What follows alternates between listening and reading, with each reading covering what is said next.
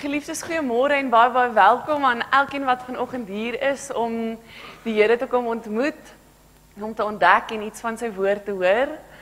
Mag dit presies met elkeen van ons gebeur. Kom ons word vir 'n oomblik stil en wees hier in die oomblik saam met die Here en dan sal Pieter vir ons hierna die toetrede lied speel waar u kan staan en saam sing. Ons eerste lied wat ons gaan sing is Gesang 526. Ons gaan een keer die lied sing en dan een keer na hom luister om een keer sing en weer een keer na hom luister. Maar jy sal dit op die skerm sien en aan die einde van die diens sing ons hom weer en dan gaan dit dieselfde wees. Eers sing en luister, dan sing en weer luister. Maar vir nou kom ons word stil en rustig.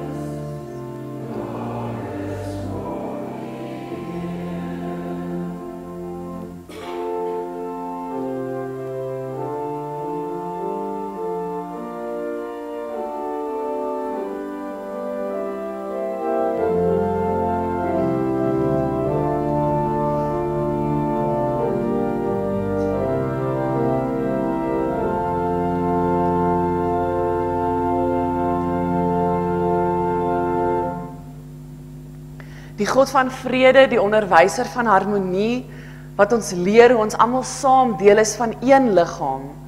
Die Here wat barmhartig, genadig is, wat lankmoedig en vol liefde en trou is, wil hê dat ons vir mekaar moet bid en seën ons vanoggend met die woorde genade en vrede vir elkeen van ons van God die Vader, van Jesus sy seun deur die werking van die Heilige Gees. Amen.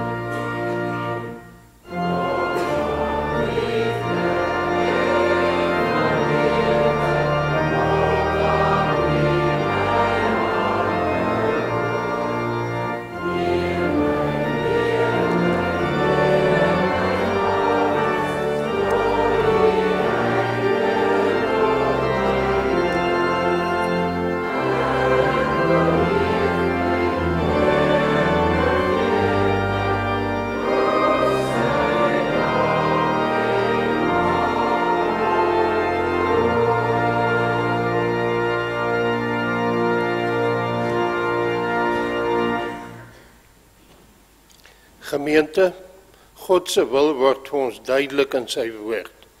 Ons word aangemoedig om mekaar lief te hê, mekaar te ondersteun en mekaar se laste te dra.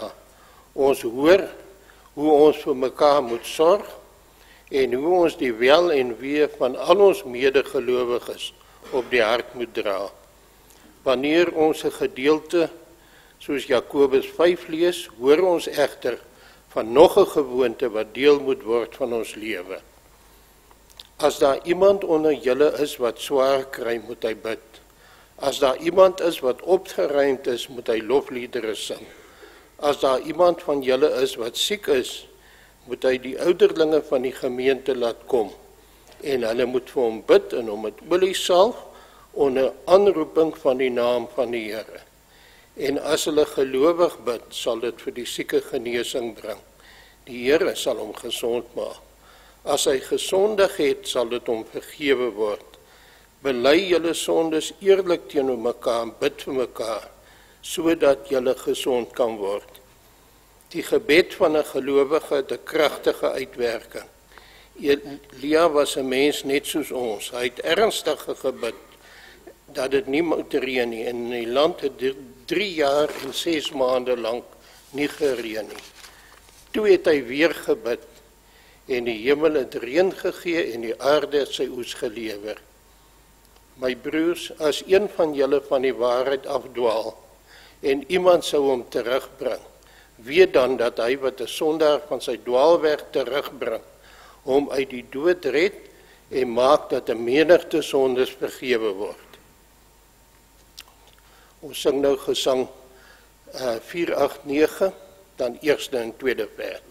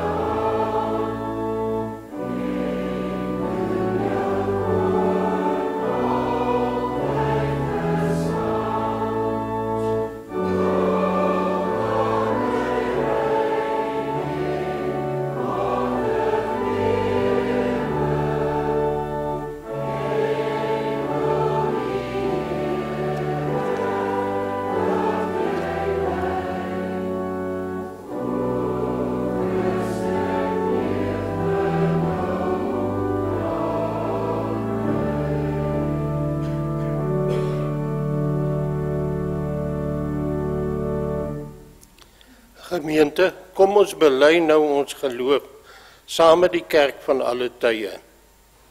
Ek glo in God die Vader, die Almagtige, die Skepper van die hemel en die aarde, en in Jesus Christus, sy enige gebore seun, ons Here, wat ontvang is van die Heilige Gees, gebore is uit die maagd Maria, wat gelei het onder Pontius Pilatus, gekruisig is, gesterf het en begrawe is en ter helle neergedaal het, wat op die derde dag weer opgestaan het uit die dode, wat opgevaar het na die hemel en sit aan die regterhand van God, die almagtige Vader, van waar hy sal kom om te oordeel die wat nog lewe en die wat reeds gesterf het. Ek glo in die Heilige Gees. Ek glo aan 'n heilige algemene Christelike kerk, die gemeenskap van die heiliges, die vergifnis van sondes, die opstanding van die vlees en 'n ewige lewe. Amen. Geliefdes, terwyl ons so bly staan, kom ons bid saam. Here, ons is hier by mekaar om te bely en te erken dat u liefde groot en oneindig is. Here, u sien ons nood raak dag vir dag en daarom het u u seun vir ons gestuur om ons u kinders te maak. Here, u wys vir ons hoe liefde liefdeloosheid kan oordek. Hoe harde harte men, mense harte deernis en geloof kan wek. Here ons leef soveel kere of u liefde ons nie raak nie en vergeet van al die goedheid. Here tog is ons hier om om ons stemme te laat hoor. Tog is ons hier om te bid, om te vra dat u ons harte kom raak. Here dat die liefdesboodskap wat u vir ons bring dat dit ons harte sal verander en dat dit ons voetstappe sal laat weer klink. Hoe mooi en goed die evangelie klink. Here seën wat nou hier gaan gebeur. Maak ons harte oop vir die woord. Maak ons ore oop om te hoor wat U vir ons wil sê. Dankie vir die geleentheid wat ons het om hier by mekaar te kan wees. Here, ons vra dit in U naam alleen.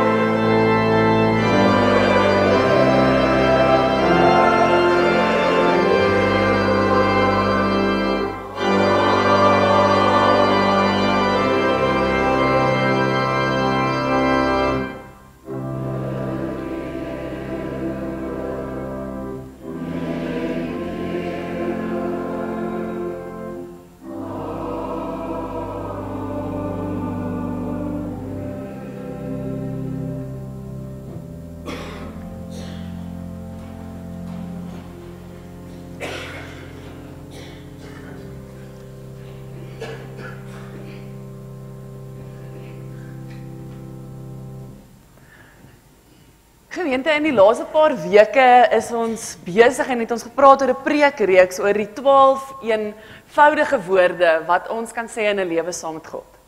Ons het die eerste paar woorde gekyk uh, hoe ons onsself kan neersit voor God. Ons het gekyk na woorde en gewoontes wat ons kan aanleer om onsself voor die Here te gaan plaas. Hoe ons onsself voor hom nie kan sien en anders kan ervaar met die woorde hier, dankie en o.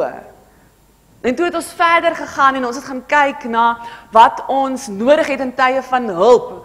Watter hulp ons nodig het in tye van spanning en nood en seer en help en jammer was die woorde wat ons daarna gekyk het. Vandag gaan ons verder en vandag se woord is een van die eerste woorde wat ons verby onsself gaan vat verby ons eie behoeftes en begeertes, verby ons eie probleme en dilemma's, verby onsself.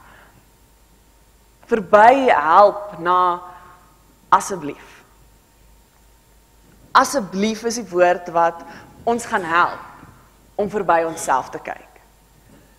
Vandag se woord gaan oor tye wanneer ander mense se nood, ander mense se seer jou soveel raak dat jy iets daaraan wil doen. Geliefdes, het jy al een van daai oomblikke gehad wat jy by die kombuistafel staan? Wanneer jy jou rekenaar oopmaak, wanneer jy op die bank gaan sit, wanneer jy by die venster uitstaar en eenvoudig oorweldig is met waardeur iemand anders tans gaan. Het jy jouself al op so 'n plek gevind waar die trane eintlik onwillekeurig vloei? Wat jy jou gedagtes net nie kan rig op 'n ding nie, wat jy sukkel om te konsentreer want jy's so besig in jou kop met iemand anders. Iemand wat ook baie naby aan jou is, se seer. Het jy dit al gevoel? Het jy al dan so magteloos in 'n situasie gevoel dat jy amper nie anders kan as om eenvoudig te begin bid nie? Om hulle aan die Here op te dra. Miskien was daai woorde dan dringend en baie, miskien was dit minder woorde maar intens. Dalk was dit eenvoudige enkele woord soos Here asseblief. Asseblief is 'n woord wat ons gebed word wanneer ons wegkyk van onsself na ander toe. Asseblief is die woord wat ons begin gebruik wanneer ons voorbidding doen vir ander. Om iemand aan die Here op te dra met die wete dat die Here hoor en verstaan en omgee is waaroor vandag se woord gaan. In voorbidding vir ander kry ons die geleentheid om 'n brug te word tussen ander mense se behoeftes en die Here se versorging om onsself toe te laat om ander se seer te voel is nie altyd 'n natuurlike proses nie. Want baie keer wanneer ander mense seer het, wanneer ander mense swaar kry, wil ons eenvoudig weghardloop. Ons wil onsself verwyder van hierdie ongemaklike situasie, van 'n situasie waar ons onsself uit ons diepte vind, omdat ons nie weet wat om te doen of wat om te sê of hoe om hulle te help nie. Maar in sulke situasies kan 'n ongelooflike heilige momente kom wanneer ons dit reg kry om ons eie pyn en seer te vat en met sagte oë na ander te kyk. Of as ons dit reg kry om ons eie pyn en seer te gebruik om onsself toe te rus, onsself te bemagtig om ander mense wat in 'n moeilike situasie is te help. Wanneer ons dit reg kry om deur voorbidding vir ander mense in gebed in te tree, bevestig ons met ons gebed twee goed dat God vir ons is. Dat God vir die in seer is, in swaar kry is, dat hy vir ons omgee en dat ons omgee. As ons nie geglo dat God omgee nie, sou ons mos nie na hom toe gedraai het in tye van nood nie. Dan sou ons ons versoeke en ons hoop na hom toe gerig het nie en miskien sou ons self nie eers omgegee het nie. Maar wanneer ons asseblief uitroep namens iemand namens iemand anders, dan bou ons 'n brug tussen ons eie hart en die wat deur 'n slegte tyd gaan se hart. En daardeur sê ons iemand kry swaar in hierdie wêreld en daar's ten minste twee harte wat dit raak sien en weier om weg te kyk. My hart en God se hart. Asseblief is dis die woord wat ons leer om te sê in 'n wêreld waar alles nie is soos dit moet wees nie. En asseblief is ook die woord wat maak dat ons deernis in ons harte vir ander mense kry. Dat die deernis wat in ons is aangespreek word, aangevuur word, aangewakker word. Min dinge in hierdie lewe doen so baie aan ons eie deernis soos om vir ander te bid. Deernis is wat ons nodig het om pyn in hierdie wêreld raak te sien. Maar om deernis te hê, is op verskillende tye iets wat ons verskillend ervaar. Ons mag deernis op verskillende tye minder of meer ervaar. Ek kan 'n prent op die skerm sit. 'n Prent twee van een van die ergste goed wat nog wat nog in ons tyd met ons gebeur het. As jy kyk na hierdie gebeure wat ons laasweek herdenk het, kan daar 'n paar goed met jou gebeur. Jy het dalk die behoefte om weg te kyk. As hierdie die TV-skerm in jou huis was, sou jy dalk die kanaal wou verander of die TV sommer net wou afsit. Slegte gebeure wil jy vermy. Jy kom dalk in 'n gewoonte om weg te kyk en nie daarna te wil kyk nie. Of dit kan met jou maak dat jy so betrokke wil raak by hierdie gebeurtenisse dat dit jou so in die toneel intrek dat jy eintlik deel word van wat daar aangaan. Deel word van die pyn deel word van die probleem eerder as deel word van die oplossing.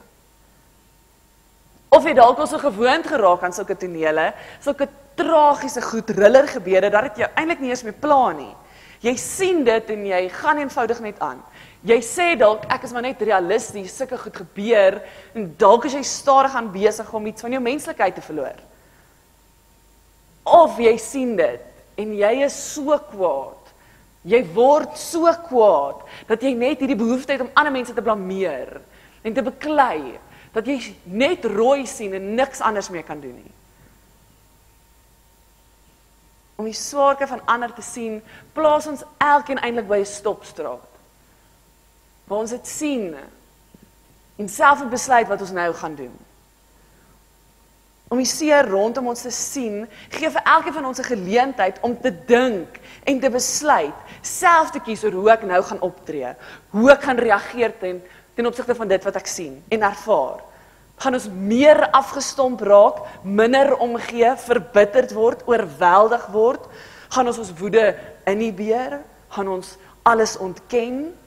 Gaan ons in ontkenning leef met dit wat rondom ons aangaan of gaan ons die verbintenis wat daar tussen ons en God is sien en dit sterker maak deur met deernis te leef deur met deernis te smag om die mense rondom ons se seer aan te raak se pyn aan te raak. Hierdie keuse moet elkeen van onsself maak.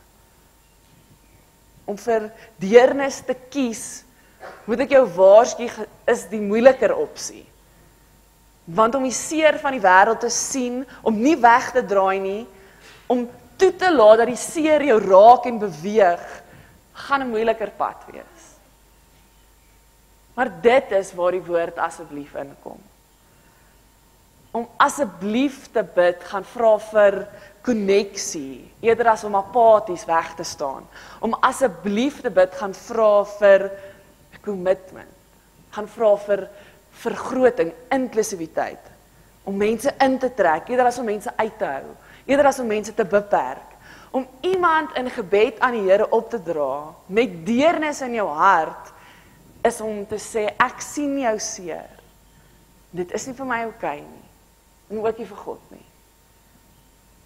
So sal ek tussen die twee gaan staan met my hand in die Here se hand aan die een kant en met my medemens hand aan die ander kant en saam sal ek deel wees van die Here se sorg en seën en genade vir jou my broer en suster wat in nood verkeer. Dis wie Jesus was. Dis wat hy kom doen het. Hy is die een wat mense so kon raak sien. Hy is die een wat oor 'n skare van mense kon kyk en mense gesien het.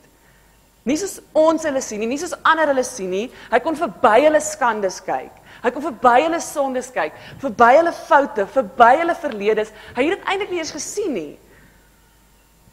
Maar hy het hulle nood kon sien. En hy kon hulle in hulle nood gaan ontmoet. Meer as enigiemand anders kon Jesus dit doen en het Jesus dit keer op keer gedoen. In plaas van dat Jesus op die kantlyn van mense se lewens gestaan het, in plaas van dat hy weggekyk het van die drama wat in mense se lewens aangegaan het, het hy in hulle lewens ingeklim. Meer as enigiemand anders, maar gelukkig het hy dit gedoen sodat ons daarvan kan leer. In Markus 2 vanaf vers 1 tot 12. As jy wil saam lees uit jou eie Bybel, kan jy dit slank opsoek. Lees ons van iemand wat dieselfde reg gekry het. Lees ons van mense wat dit kon regkry om nie op die kantlyn te bly staan nie. Lees ons van mense wat seer gesien het en dit ook gevoel het en iets daaromtrent wou doen. Kom ons lees dit saam. Markus 2 vers 1 tot 12. Toe Jesus na 'n paar dae weer in Kapernaum kom, het dit bekend geword dat hy by die huis is. Baie mense het daar saamgedrom sodat daar selfs by die deur nie meer plek was nie. Hy was besig om met hulle oor sy boodskap te praat. Daar kom toe mense wat 'n verlamde man na hom toe bring. Vier van hulle het hom gedra. Toe hulle hom weens die gedrang nie by Jesus kon kry nie, breek hulle die dak reg bokant hom oop. En nadat hulle 'n opening in die dak gemaak het, laat hulle die draagbaar waarop die verlamde man gelê het, daardeur afsak. Toe Jesus hulle geloof sien, sê hy vir die verlamde: "Vriend, jou sondes word vergewe." Maar sommige van die skrifgeleerdes het daar gesit en hulle afgevra: "Waarom sê hy so? Hy praat mos God lasterlik. Wie kan sondes vergewe behalwe God alleen?" Jesus het dadelik geweet dat hulle by hulle self so redeneer. Hy sê toe vir hulle: "Wat redeneer julle by julleself hieroor? Wat is makliker?" om 'n om vir 'n verlamde man te sê jou sondes word vergewe of om te sê staan op, vat jou draag, draagbaar en loop.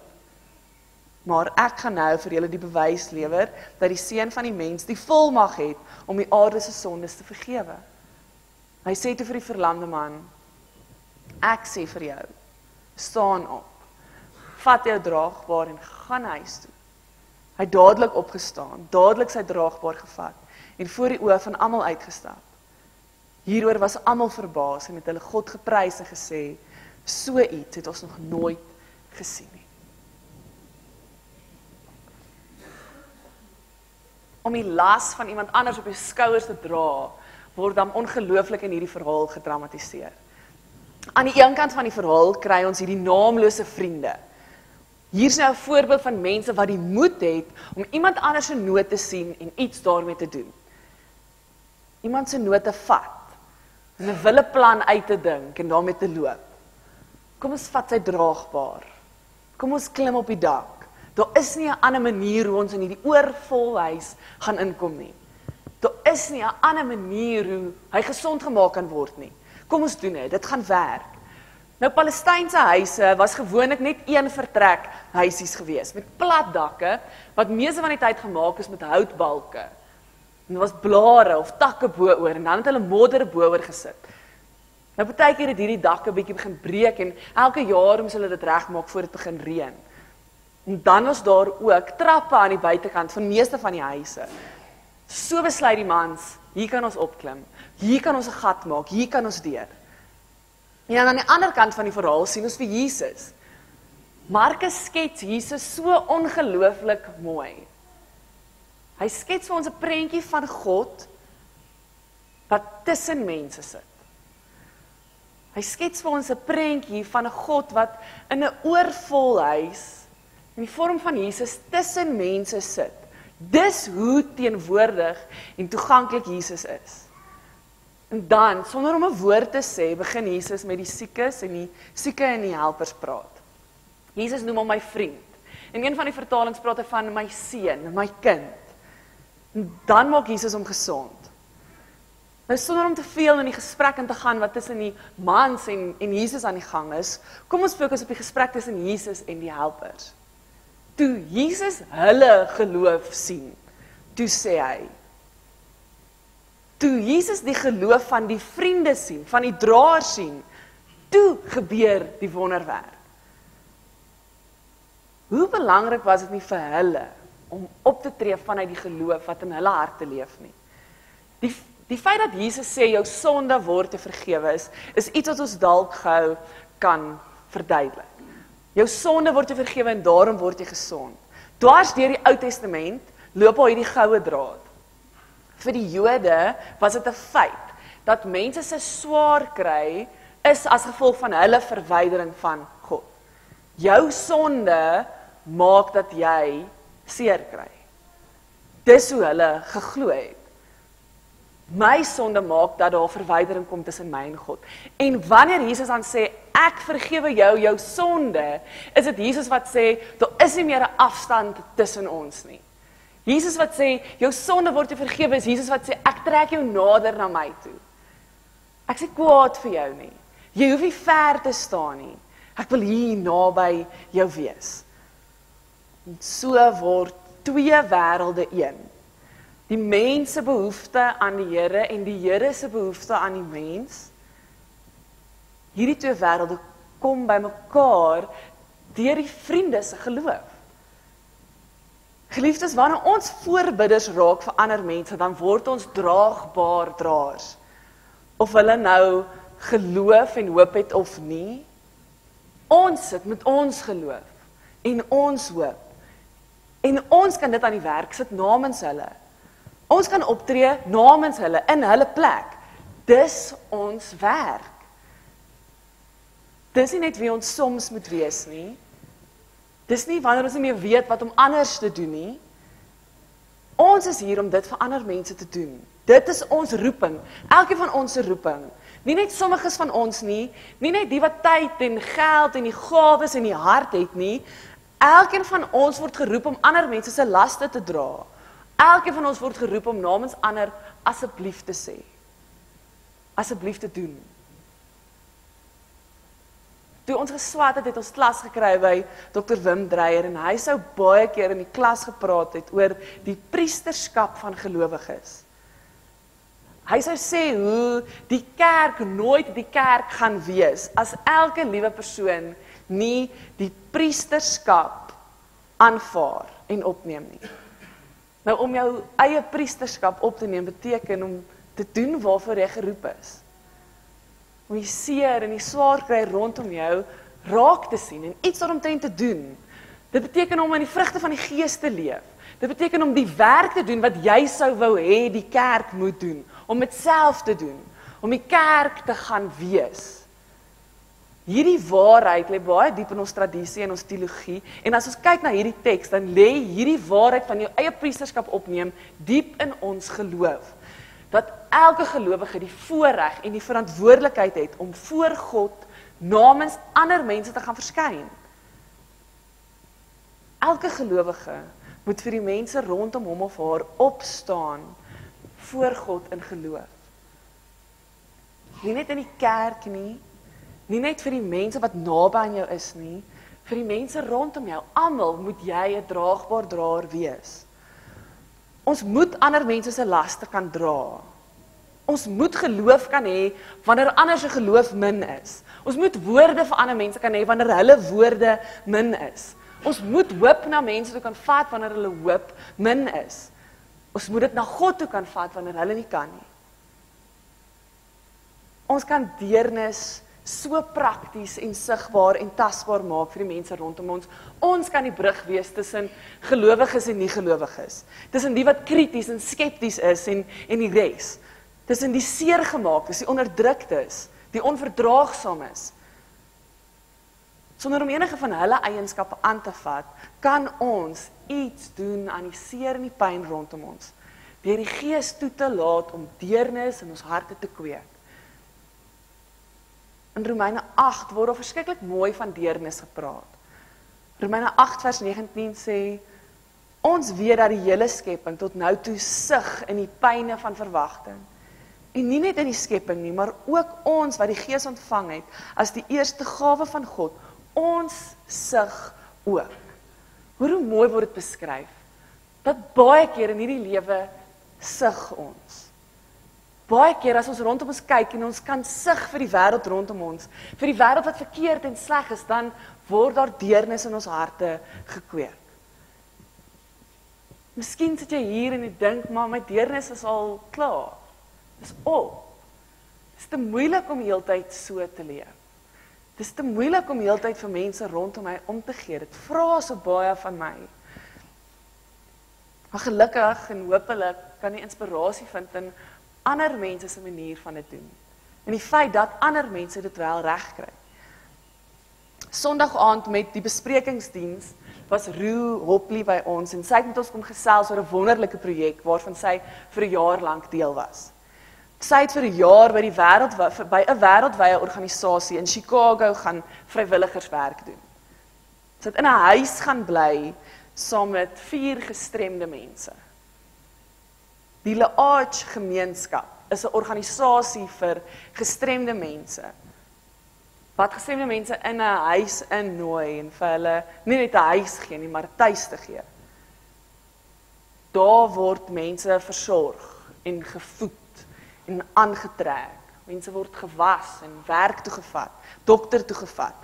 Mense word met vakansie geneem. Mense word vir kos gemaak en gegee en dit alles in liefde. Sy kom vertel hoe sy dit vir 'n jaar lank gedoen het en dat die enigste manier hoe sy dit vir 'n jaar lank kon doen is om konstant vir haarself die die basisteorie van Laach te te sê oor en oor en oor. Laach is, is gegrondves op die beginsel: Is jy lief vir my? En sal jy vir my kan doen wat ek nie vir myself kan doen nie? Is jy lief vir my en sal jy vir my kan doen wat ek nie vir myself kan doen nie? Dis waaroor die lewe in elkeen van daai huise reg oor die wêreld gaan. Vir elke vrywilliger is dit die vraag wat hulle vir hulle self dag na dag moet vra. Kan ek vir iemand anders vandag in hierdie huis doen wat hulle nie vir hulle self kan doen nie? Roo sê hulle het gevind dat gestremdes se mees primêre vraag hierdie twee is. Maar sy sê hoe meer sy met allerlei mense te doen het, sy besef dat dit is meeste van ons se basiese behoeftes Iemand wat my kan help. Iemand wat vir my kan intree. Iemand wat genoeg omgee om vir my te doen wat ek nie vir myself kan doen nie. Iemand wat my draagbaar kan dra. Of net namens my sal sê asseblief. Dis wie ons geroep is om te wees.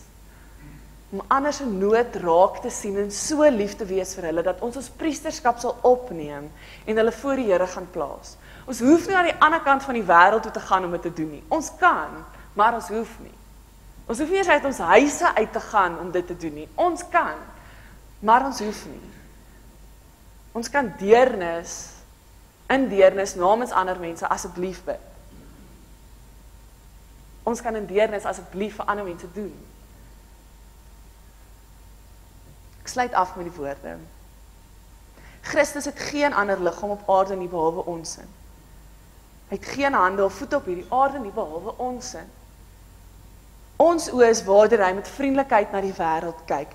Ons hande is waarmee hy werk. Ons voete is waarmee hy beweeg. Ons stemme is wat klink in hierdie wêreld. Ons ore is waarmee hy luister. Ons liggame is waar Jesus bly. So laat elkeen van ons nou gevul met die Heilige Gees in hierdie wêreld ingaan en Jesus gaan wees in goedheid en deernis.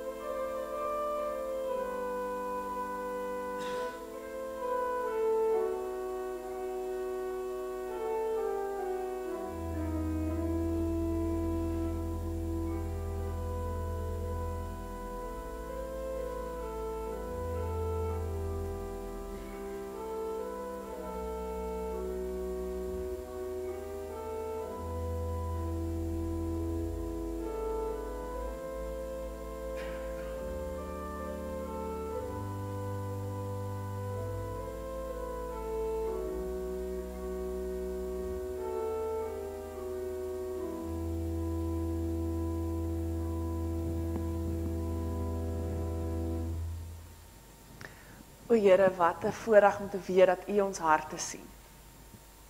Dat U ons pyn en swaar kry sien. Here dat U so aktief betrokke is in dit. Die by dit is, in dit is. Here so baie keer is ons so besig met onsself dat ons vergeet van ander. Ons vergeet om verder te kyk. Ons vergeet om om dieper te kyk. Ons is so besig met ons eie goed, Here, dat ons verby mekaar leef. Dat dit regtig sleg kan gaan met iemand en ons is nie eers bewus daarvan nie. Here help ons, leer ons, lei ons in in hierdie week. Seën ons met u gees sodat ons ander mense regtig sal kan sien.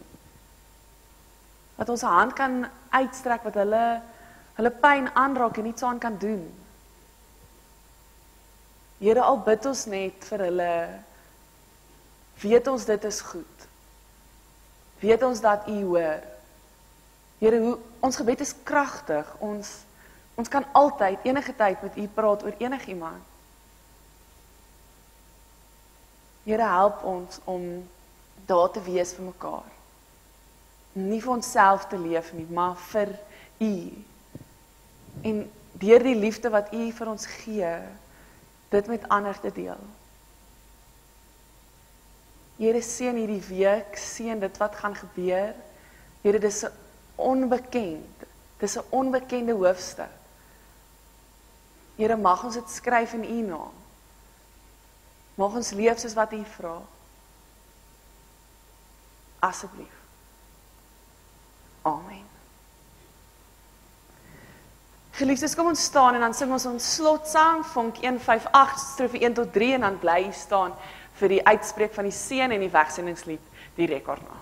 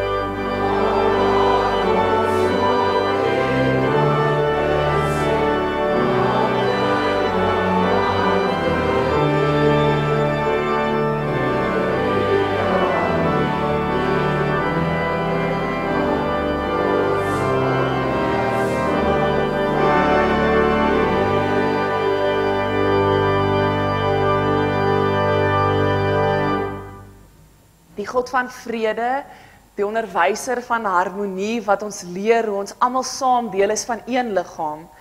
Die Here wat die barmhartige en genadige God is, wat lankmoedig, vol liefde en trou is, wil hê dat ons vir mekaar sal bid. En daarom gaan ons uit in die erediens van die lewe met die woorde mag die Here ons seën en beskerm. Mag die Here tot ons redding verskyn en ons genadig wees. Mag die Here ons gebede verhoor en aan ons sy vrede gee. Amen.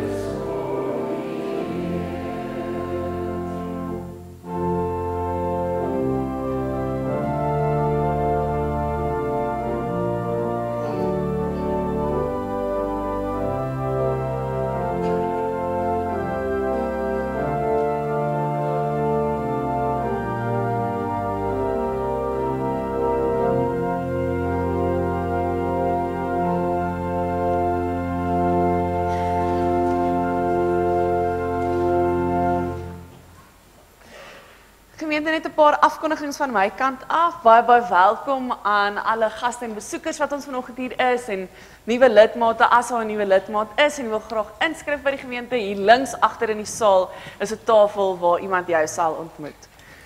Lief en leed in ons gemeente, Tannie Frida Botha is weer by die huis. Ons vra asseblief dat u nog steeds vir haar en haar gesin sal bid, as ook vir Brandon Meyer hulle, vir Brand van Duyk en Tannie Reina Erasmus. Hulle almal is is regtig siek en ek vra dat ons sal intree in gebed vir hulle.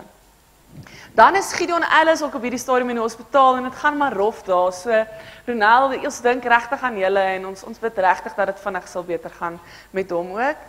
En dan is tannie Annetjie Bester is in die week oorlede.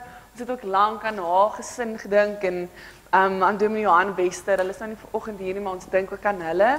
En dan het tannie Anna vanoggend vir my gesê tannie Jeannie Overall se dogter wat ook baie baie lank siek was, is gister oorlede en en ons dink ook aan hulle en dan tannie Jeannie, hulle het ook baie swaar gekry. So ja, Tannie Annetjie Bester se begrafnis is die 20ste September by Magteld 11:00 die oggend as iemand dit graag wil bywoon. Dan is daar 'n lief ook in ons gemeente, Nadine en Karel van der Merwe is gister hier by ons in die gemeente getroud. Um, hulle ouers is is al twee gemeente, is al drie gemeentelede by ons. Ons wil sommer net vir hulle ook baie geluk sê. Daar is geen aandiens vanaand nie as gevolg van die gemeentekamp. Dis wat aan die gang is nog hierdie naweek. Daar is ook niks kategese vanoggend nie as gevolg van die gemeentekamp. Daar is wel Bybelstudies hierdie week, so dit gaan voort. Dan as enigiemand die preekreeks wil bestel, hierdie 12 weke se preekreeks, kan jy dit agter in die saal gaan bestel. En dan wil ek graag noem die damesbediening is deel van 'n ondersteuningsgroep by die gevangenisbediening. Daar is 'n advertensie in die in die blaadjies, so kyk asseblief daarna. Hulle benodig items vir hierdie projek. Dan is daar onthou asseblief van die Boskaravaan kompetisie, die saartjie kaartjies is agter in die saal te koop. En dan wil ek net noem die bejaardesorgbediening is baie sterk aan die gang hier by ons in die gemeente. Daar's regtig so baie plekke waar jy betrokke kan raak of as jy iets nodig het, is ons bejaardesorg ongelooflik wil die Engelse woord gebruik hands on. En hulle is daar 'n deel van van soveel ongelooflike aktiwiteite en en en bediening. So as jy meer wil weet of as jy besoek nodig het of um as jy betrokke wil raak, kontak asseblief vir Gerda, sy gaan vir die nodige inligting gee. En dan wil ek ook net sê dis al amper Kersmarktyd. So dis een van die dae, die Kersmark, die 23ste Oktober, 6:00 die aand is die openingsaand, daar's 'n lekker vingerete, so as jy dit wil kom bywoon en dan is die 24ste tot die 26ste, is hy 9uur tot 6uur in die middag en dan die 27ste sluit ons 2uur die middag om af. So, moenie al jou geld uitgee nie, spaar 'n bietjie, wonderlike goed te koop. Dan is daar nou lekker tee in die of lekker koffie in die saal, kom drink saam met ons voor die week begin.